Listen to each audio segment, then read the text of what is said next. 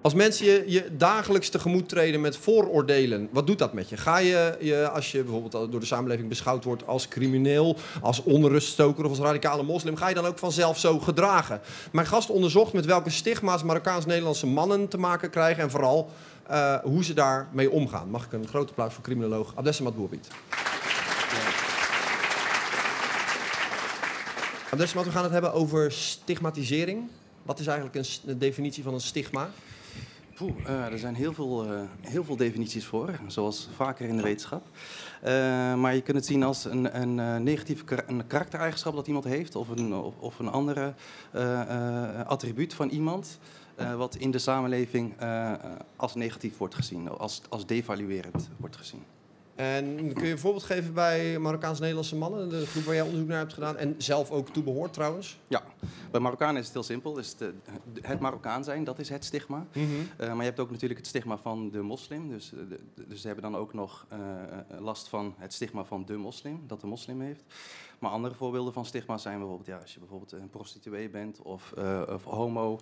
dat zijn ook allemaal dingen die, attributen die mensen kunnen hebben die in de samenleving uh, door bepaalde mensen worden gezien als, als, als, als negatief. Ja, zo far zo Maar oh, dus het gaat om die negatieve connotatie, mensen die, de, die de samenleving daarmee heeft. Ja. We komen daar zo meteen over te spreken, uh, hoe die stigma's eruit zien. Waar, waar, je mee te maken krijgt als Marokkaans-Nederlandse man. Mhm. Eh, maar ook hoe je ermee omgaat. Maar eerst even, jij hebt een aantal cases uh, bekeken van hoe die stigma's geconstrueerd worden eigenlijk. Hè? Dus die, die komen niet uit de lucht vallen, die ontstaan langzaam. En een van die uh, gebeurtenissen is een incident in Gouda.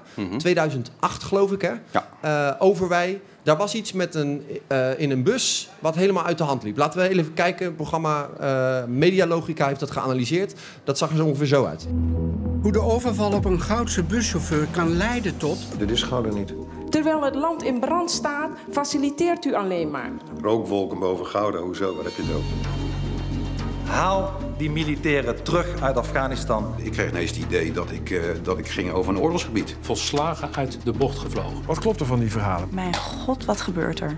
Papegaaien praten. Het is te simpel om te zeggen, de media hebben het gedaan. We pakken die journalisten en we gooien ze in de sloot. Wat we hier niet zo heel veel horen is dat het uh, heel veel ging over Marokkaans-Nederlandse jongens. Ja. Marokkanen.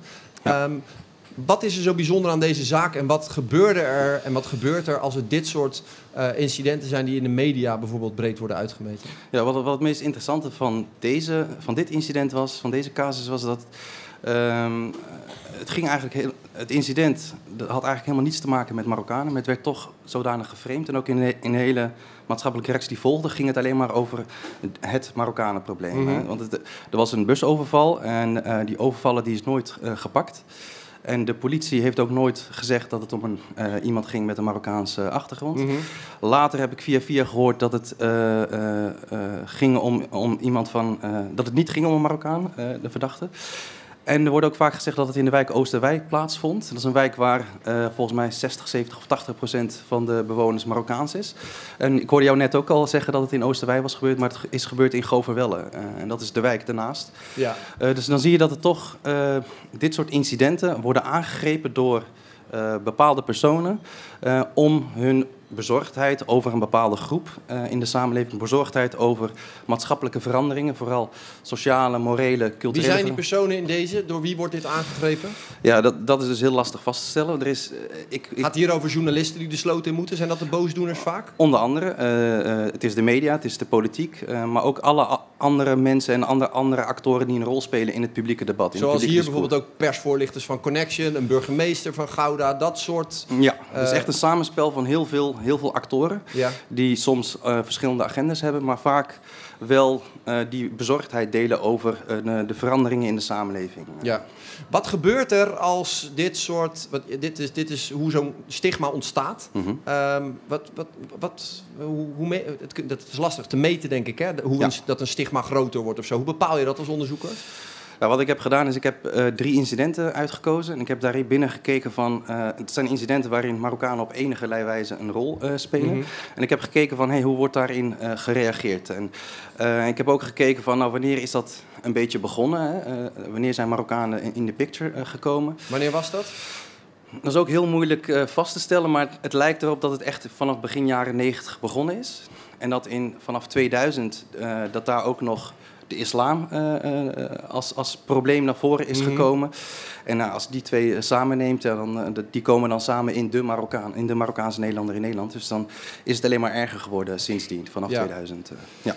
En dan moet ik zeggen dat nu, na, vanaf 2010, lijkt het iets minder te worden. Maar lijkt dat uh, alsof de, de vluchteling uh, die positie overneemt. Oké, okay. uh, we gaan het vandaag niet hebben over of de vrees terecht is of het beeld wat de samenleving heeft. Daar kunnen we lang over praten. Er zijn ook waarschijnlijk mensen die zeggen ja, maar het is terecht, want Marokkanen zorgen voor grote problemen, de islam zorgt voor grote problemen. Mm. Dat bespreken we hier vanavond niet. Wat we vanavond bespreken is hoe ga je ermee om als de samenleving je op zo'n manier ziet. Ja. Wat je vaak hoort dan is uh, als je benaderd wordt als een criminele onruststoker, dan ga je je vanzelf zo gedragen. Ja. Uh, u ziet mij zo, ik word zo. Ja. Was dat ook de verwachting waarmee jij dit onderzoek inging? Uh, ja, een, niet de verwachting, maar wel een, een, belangrijke vraag. Omdat je dat natuurlijk heel vaak hoort en ook vaak leest in de literatuur. Mm -hmm. Dat is ook een hele bekende criminologische theorie, de, uh, de secundaire deviantietheorie, die dat dan uh, beschrijft. Dus ik was benieuwd van, zal ik dat aantreffen? Dus dat was wel een, een vraag, een hypothese die ik vooraf had. ja. ja jij bent gaan praten met enkele tientallen uh, Marokkaans-Nederlandse jongens. Heel verschillend van pluimage. Hè? Ja. Um, wat, voor, wat voor mensen heb je gesproken en wat, wat, wat, wat voor verhalen kwamen ze mee? Ja. Ik heb uh, gesproken met, jongens, uh, met jonge mannen van 15 tot 35 jaar. Uh, echt uh, heel, in zo'n divers mogelijke groep. Dus echt uh, van criminelen tot, tot niet-criminelen. Van, dus wat, we zijn iets diverser hoor, de, toch? In de... nee, dat is de enige. nee, dus, dus echt qua onderwijsniveau, dus hoogopgeleide, laagopgeleide. Mensen met een eigen bedrijf, een succesvolle onderneming. Mensen die werkloos zijn. Uh, ook qua religiositeit, mensen die uh, te kenschetsen zijn als salafisten of, mm -hmm. of jihadi-salafis, uh, als je dat zo wil noemen. En ook mensen die ja, heel gematigd of vrijzinnig zijn. Dus ik heb echt gezocht naar een zo breed mogelijk, zo'n zo divers mogelijk. Ja, om, de, om erachter te komen hoe zij omgaan met dat stigma, met ja, de vooroordelen. Ja. Wat vraag je dan aan iemand? Hoe ga je ermee om? en hebben, nee, ze daar, is, hebben ze daar gelijk een antwoord op? zijn ze zich ervan bewust?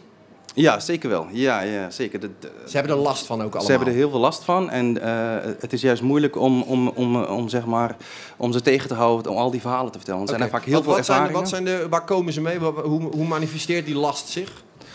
Um, het zijn iets van drie, vier of vijf dingen uh, waar, ze, waar ze het vaakst mee komen. Eén mm -hmm. is opmerkingen in het dagelijks leven die ze krijgen. Uh, voorbeelden daarvan zijn uh, bijvoorbeeld de opmerking: jij bent anders. Uh, en dan, dan, daarmee wordt dan bedoeld, jij bent anders dan die uh, personen die ik op tv zie, of de, de, de negatieve Oh, jij, bent, jij, bent er, jij bent een goede Marokkaan ja, eigenlijk. dat is, dan, is wat er eigenlijk mee bedoeld ja. wordt. Dat is een opmerking die dan, die dan pijn doet. Want dan denkt iemand van, ja, uh, wat bedoel je daarmee? Mm -hmm. En er zijn nog meer opmerkingen van, waarom zijn het altijd Marokkanen? Um, ja, dat zijn van die, van die opmerkingen die echt, echt gewoon hard aankomen en ook pijn kunnen doen. Ja, maar je, je had het ook over wat, wat jongens soms doen. Hè? Dus ik, ik herinner me uit, uit, je onderzoek een voorbeeld van een jongen die bijvoorbeeld met contant geld werkt. -hmm.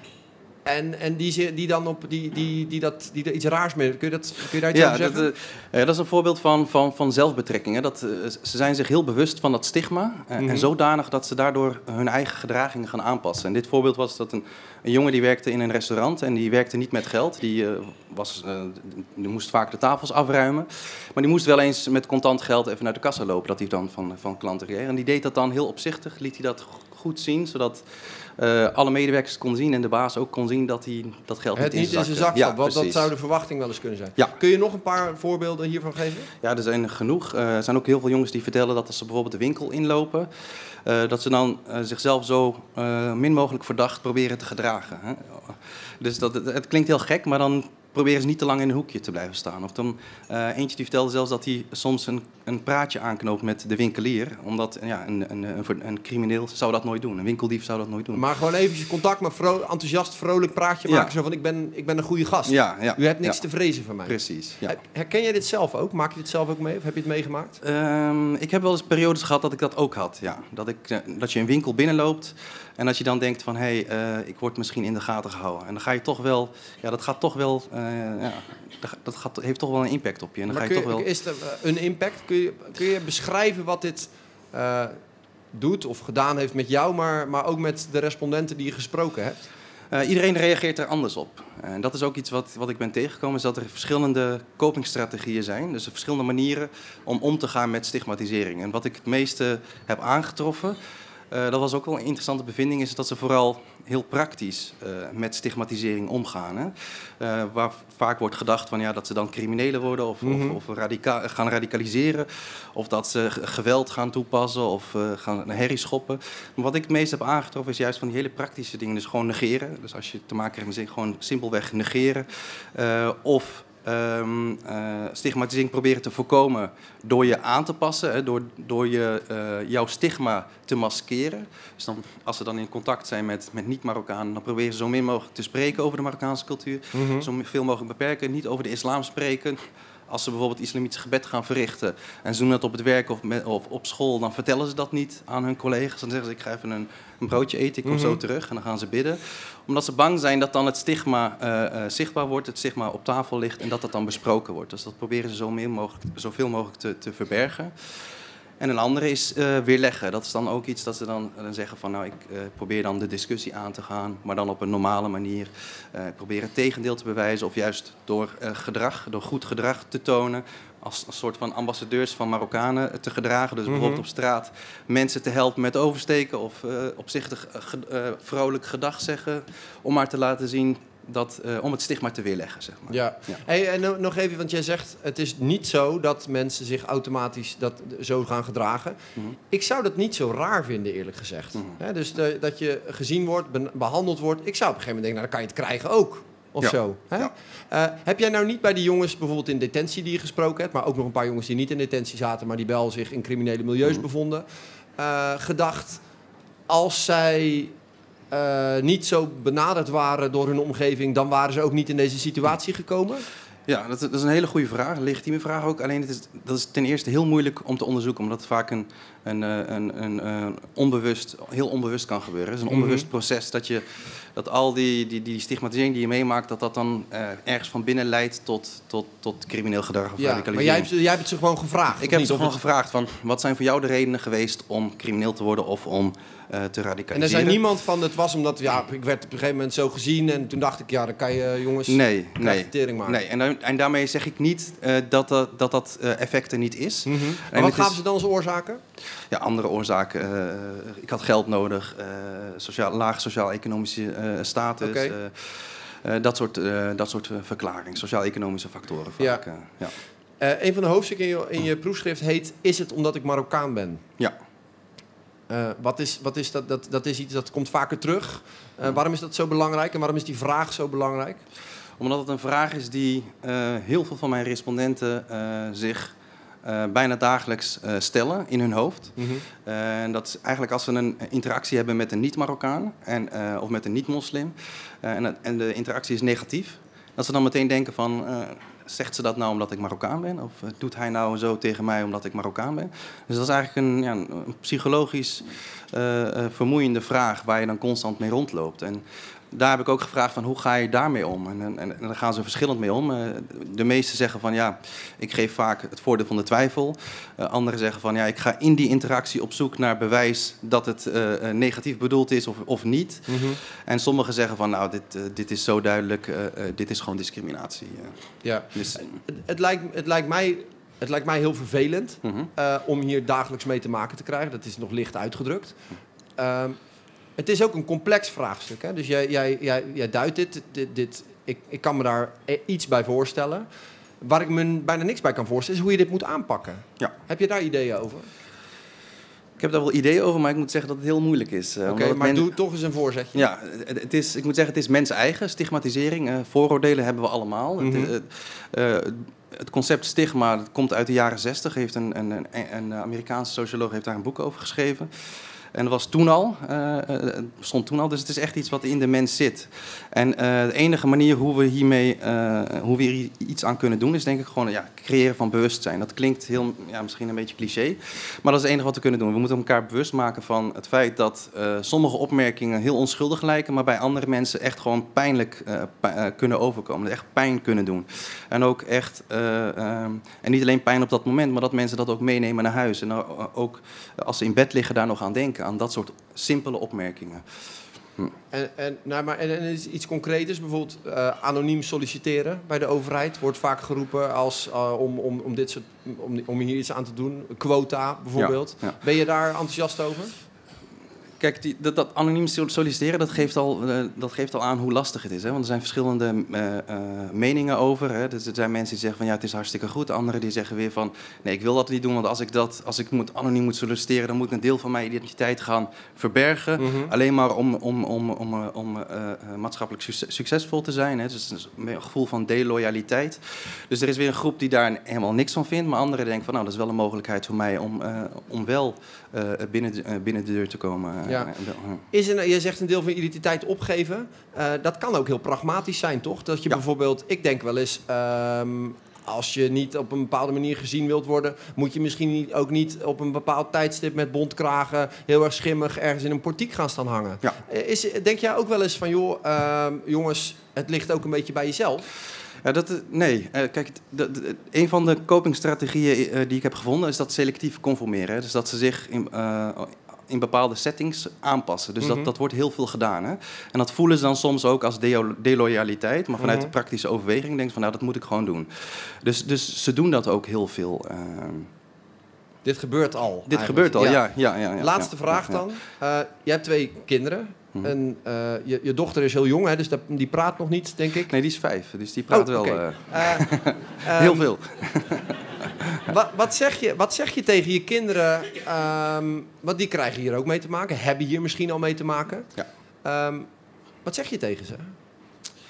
Uh, wat ik ze ga leren is dat, is dat dit uh, bij de mens hoort en dat vooroordelen uh, helaas hierbij horen. En dat wij als Marokkanen en moslims op dit moment in de picture staan. Dus, dus dan ook extra veel last hebben van ons stigma. Dus er zijn ook andere groepen in de samenleving die ook last hebben van ons stigma, maar niet zoveel als als de Marokkaan of moslim of de vluchteling op dit mhm. moment. Dus dan zal ik gewoon uitleggen dat dat gewoon iets is waar je mee moet leren leven. En dat daar verschillende manieren zijn, verschillende copingstrategieën, hoe je daarmee kunt omgaan. Uh, dat is het enige wat ik, wat ik zou kunnen doen. Uh, ja. Dank dat je er was. Abdes, Dank je wel. Ja, dank je.